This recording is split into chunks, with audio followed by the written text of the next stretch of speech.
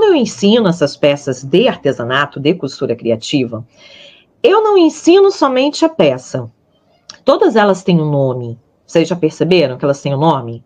Necessaire prática, é, bike bag, né? Todas elas têm o um nome, bolsa MEI, bolsa cravo, uh, mais qual, gente? Mochila Cici, bolsa gratidão, é, a bolsa Zilda Arnes, a mochila girassol.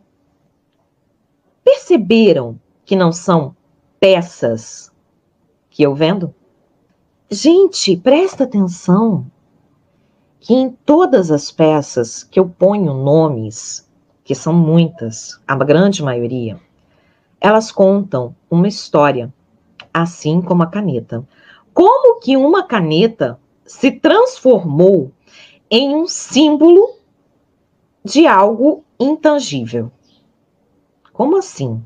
Símbolo de algo intangível.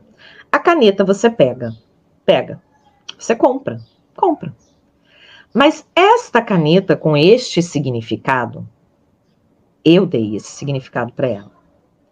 E eu dei este significado para ela, da dona Constância, com a ajuda de um aluno. Olha, eu amo isso, porque são meus alunos que trazem isso para mim, sabe? São meus alunos que trazem o ouro que hoje eu compartilho com vocês. Muitos deles, inclusive a parte de girassol, foram meus alunos que trouxeram. E isso é primordial. Primeira coisa, gente, se você não ouve o teu cliente, você não cresce, você não vende tá? É considerar realmente o teu cliente, é abrir o ouvido para dar valor para o outro. Quando a gente é arrogante, né? Tem gente que é arrogante, acha que é super potente, super herói e tudo mais, e acha que qualquer crítica é destrutiva, que qualquer conselho é desnecessário. E ainda às vezes fica atacando pedra ainda nos outros. Pois é, não seja essa pessoa. Seja a pessoa que ouve os sinais do universo de ouvidos abertos.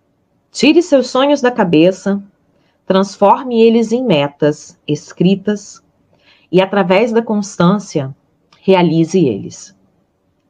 Tenha a Dona Constância com você o tempo todo para te lembrar que você é preciosa, que o que você faz é precioso. Eu não estou vendendo a caneta. Estou vendendo a constância.